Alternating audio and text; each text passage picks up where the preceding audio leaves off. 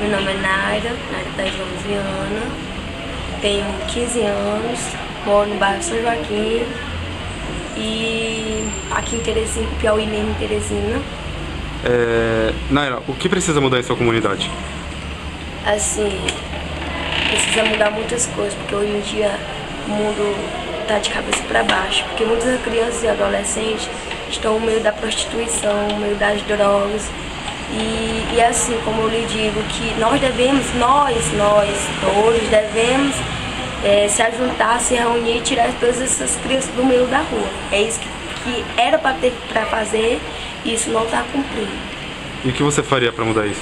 Eu faria assim, eu e, a, e, as equipes, não só o conselho, mas a primeira vara também está aí.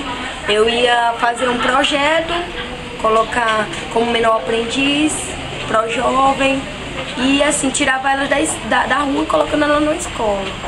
E, e assim eles iam ter o tempo deles fazendo alguma atividade. E sim tirando, tirando aquele pensamento da rua.